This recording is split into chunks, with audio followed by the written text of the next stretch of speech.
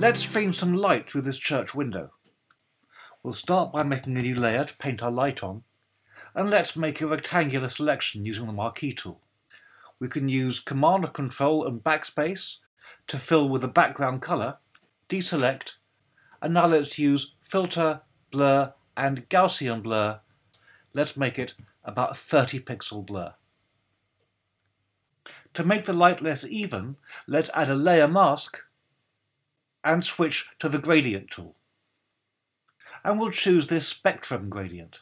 Drag it vertically over the mask, it'll only apply it in shades of grey, and that gives us these nice uneven bands.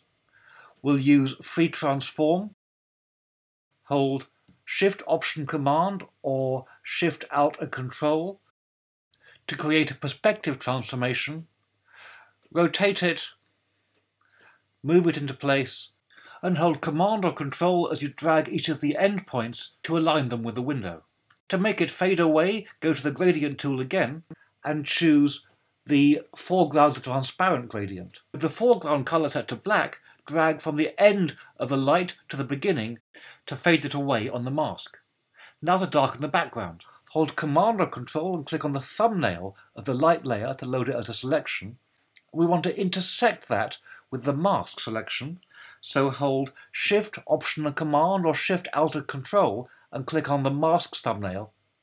Inverse this selection and make a new Curves adjustment layer and drag down in the curve to darken up the rest of the room.